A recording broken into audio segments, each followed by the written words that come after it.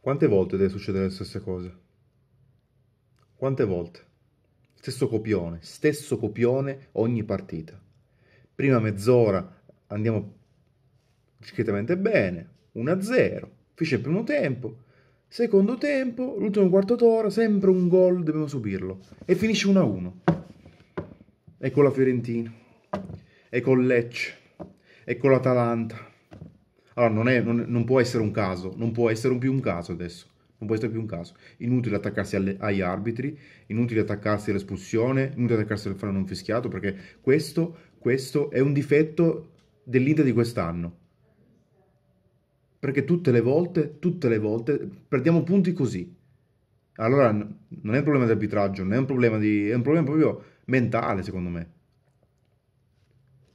Cioè, io, io veramente sono, sono, stufo, sono stufo, sono veramente stufo. Sono stufo, non, non, mi incazzo nemmeno più ormai. Anzi, mi incazzo sì che mi incazzo, ma aspetto tre ore a fare il video. Perché mica dovessi fare il video subito, eh, sapete come va a finire. Adesso Conte è andato via a San Siro senza fare commenti, senza niente. Eh, L'autore espulso. Lasciamo perdere come è andata l'espulsione che ogni volta con l'Inter sempre cartellini facili, ma non voglio, non, non voglio attaccarmi su quello, assolutamente.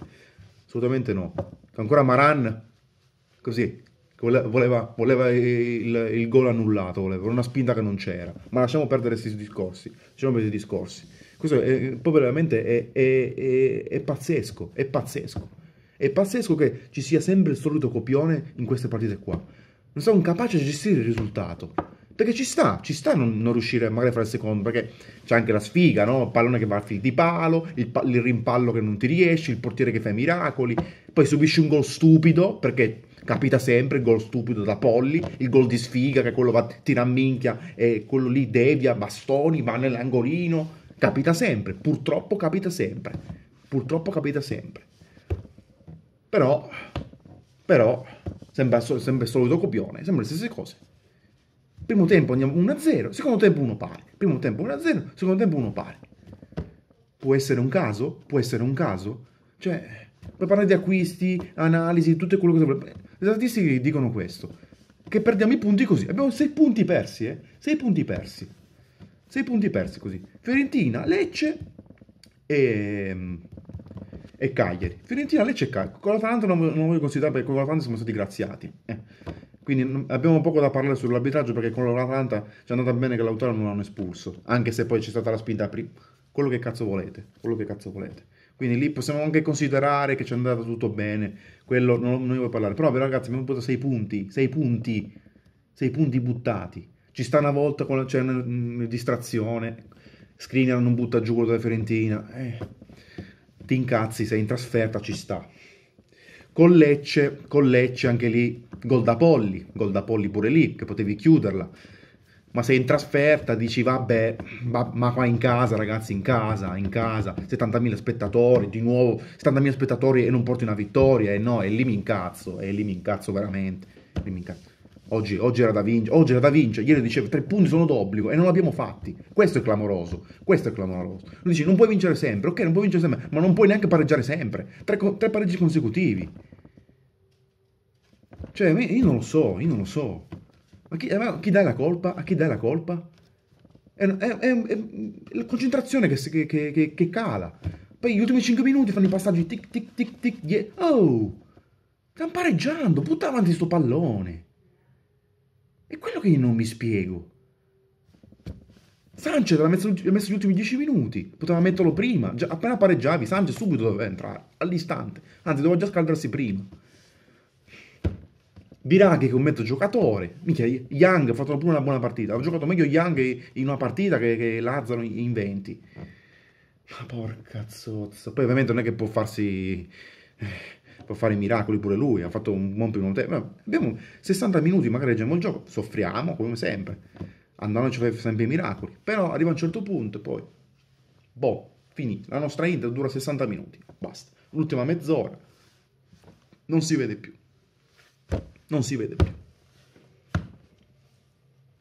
Non so che dire, non so che dire. Sempre, poi sempre il periodo, o dicembre, o gennaio, capita sempre il periodo storto non ci viene nulla, nulla. Poi per quanto possiamo magari giocare male, per quanto e abbiamo una sfiga tremenda, una sfiga tremenda, incredibile, incredibile. Ci va bene una partita, per altre tre ci va tutto, tutto storto, al di là del calo di concentrazione che comunque, guarda caso, l'ultima mezz'ora subiamo sempre il gol da stupidi, però certe volte, porca miseria, la palla non entra mai in porta, mica sembra, sembra incredibile, incredibile quella fil di palo, quello lì, ma porca. Sensi, Sensi è partito male, poi dopo un attimo ripreso, però anche lui non ci ha azzeccato nulla, porca Valero, così così.